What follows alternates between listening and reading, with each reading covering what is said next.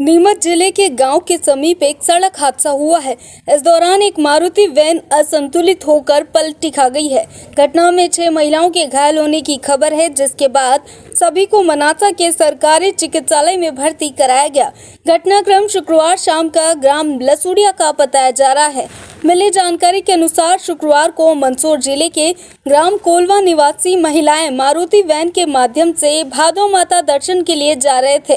उसी दौरान देर शाम मनासा थाना क्षेत्र स्थित ग्राम जवारा जारडा मार्ग पर ग्राम लसूड़िया के समीप मारुति वैन असंतुलित होकर पलटी खा गई है।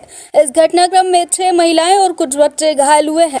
घटना की जानकारी मिलते ही एंबुलेंस और उसमें तैनात पायलट अनिल बारिया और ईएमटी सोनू सी चंद्रावत मौके पर पहुँचे और घायलों को मनासा सरकारी अस्पताल ले जाया गया है। हालाँकि इसमें किसी को भी गंभीर चोटें नहीं आई है।